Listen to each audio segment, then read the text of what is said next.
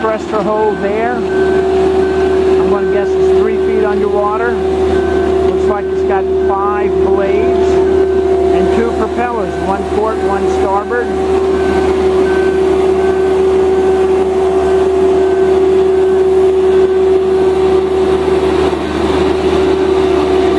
Nordic Tug 44.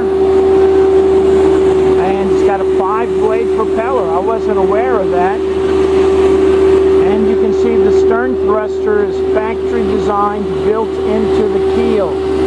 That's impressive. I've never seen one like that before. Let me zoom in, may lose focus. Maybe I'll walk in since they turned off the travel lift.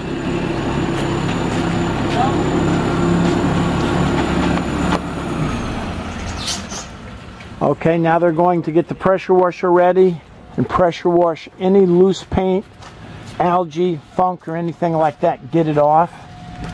And notice the half nut goes first, the whole nut goes second.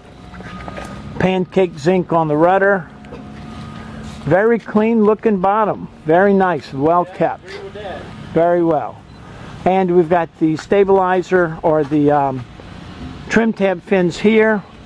After we get the boat set down in the blocks, we'll check those to confirm that they are working. You want to learn more about how Teak uses pressure washers, go to Teak's Pressure Washing School, held every Sunday at 3 o'clock. Never seen a bound uh.